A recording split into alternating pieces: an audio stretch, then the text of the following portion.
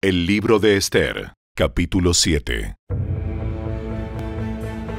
Entonces el rey y Amán fueron al banquete de la reina Esther. En esta segunda ocasión, mientras bebían vino, el rey volvió a decir a Esther, Dime lo que desees, reina Esther. ¿Cuál es tu petición? Yo te la daré, aun si fuera la mitad del reino. La reina Esther contestó, Si he logrado el favor del rey, y si al rey le agrada conceder mi petición, pido que mi vida y la vida de mi pueblo sean libradas de la muerte. Pues mi pueblo y yo hemos sido vendidos para ser muertos, masacrados y aniquilados.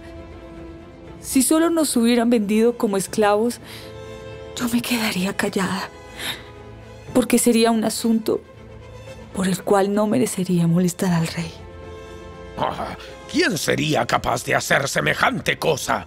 ¿Quién podría ser tan descarado para tocarte a ti? Esther contestó, Este malvado Amán es nuestro adversario y nuestro enemigo. Amán se puso pálido de miedo delante del rey y de la reina. Entonces el rey, enfurecido, se levantó de un salto y salió al jardín del palacio. Amán, en cambio, se quedó con la reina Esther para implorar por su vida, porque sabía que el rey pensaba matarlo. En su desesperación, se dejó caer sobre el diván donde estaba reclinada la reina Esther, justo cuando el rey volvía del jardín del palacio. El rey exclamó, Hasta se atreve a atacar a la reina aquí mismo, en el palacio, ante mis propios ojos. Entonces, en cuanto el rey habló, sus asistentes le cubrieron la cara a Amán en señal de condena. Luego, Arbona, uno de los eunucos del rey, dijo, Amán ha levantado un poste afilado de 23 metros de altura en el patio de su casa. Tenía pensado utilizarlo para atravesar a Mardoqueo, el hombre que salvó al rey de ser asesinado. ¡Que atraviesen a Man en ese poste! Entonces, atravesaron a Amán con el poste que había levantado para Mardoqueo.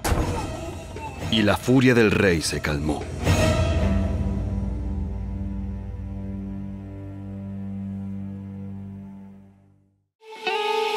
Si te gustó este video, dale me gusta, suscríbete a nuestro canal y asegúrate de activar la campanita de notificaciones para que siempre estés al día con nuestros nuevos recursos. Recuerda seguirnos también en nuestras redes sociales. Descarga ahora mismo la app y escucha la audio Biblia dramatizada en tu celular. Busca lectura pública de la Biblia en la tienda de tu dispositivo o vea la descripción de este video donde también encontrarás los links de descarga. Para ver el siguiente video, toca el recuadro que aparece en tu pantalla. ¡Hasta pronto!